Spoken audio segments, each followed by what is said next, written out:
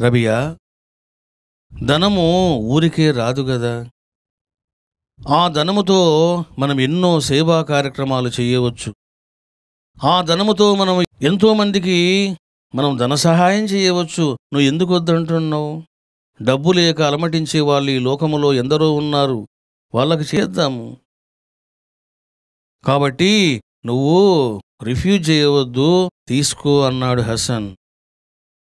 అప్పుడు చూడండి రబియా అంటున్నది. హసన్ నేను పరమాత్మను స్వీకరించాను ప్రపంచాన్ని త్యజించాను. ఒకనాడు నాకు అల్లా చెప్పాడు నేను కావాలా ప్రపంచం కావాలా అని. నీవే కావాలి అన్నాను. పరమాత్మ నేను వరించాను. I don't have right to take money from him.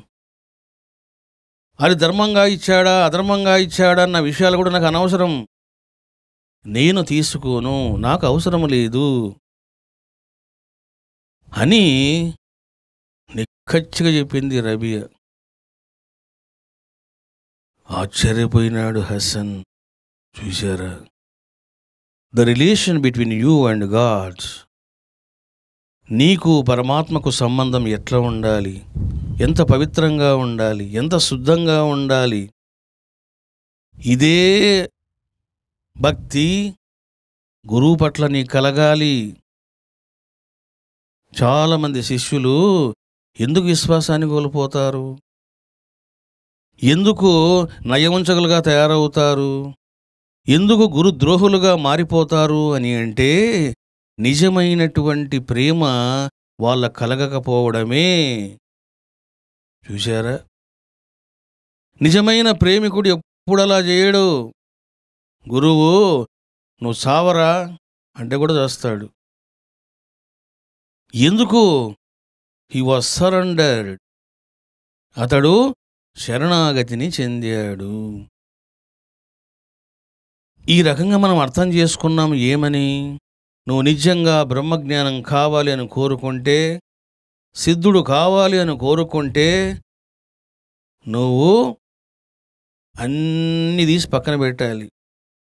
ఒక్క పరమాత్మనే పట్టుకోవాలి ఒక్క గురువునే పట్టుకోవాలి. ఇది ఎంతమందికి సాధ్యమవుతుంది?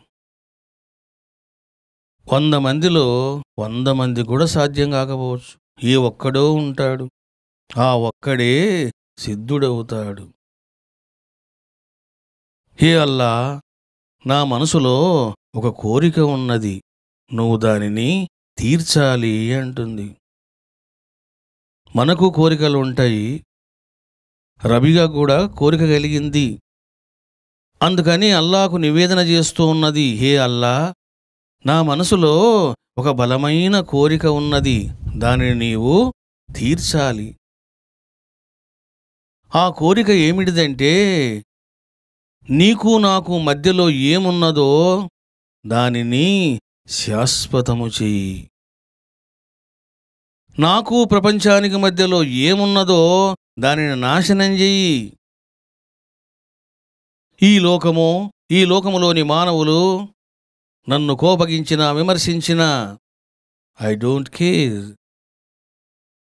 నాకు కావలసింది నీ యొక్క సంతృప్తి మాత్రమే.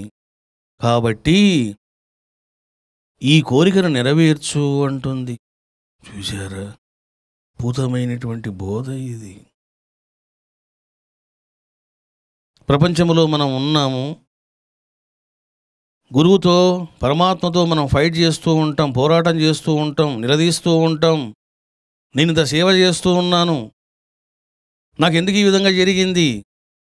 నా కోరిక ఎందుకు నెరవేరలేదు? ఎందుకు ఆలస్యమైంది? నీకు కరుణ లేదు. నీకు ప్రేమ లేదు. నువ్వు పట్టించుకోవడం లేదు. నువ్వు ఉపేక్షిస్తున్నావు. అని మనం అంటాము. మనం దేన్ని పట్టుకున్నామో? దాన్ని నాశనం చేసేయి నువ్వు అంటుంది రబియా. చూశారా?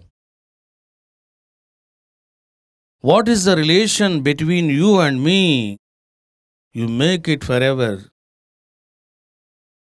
దాన్ని శాశ్వతం చేసేయి whatever the relation between me and this universe you make destroy చూసారా దాన్ని నాశనం చేసే అంటుంది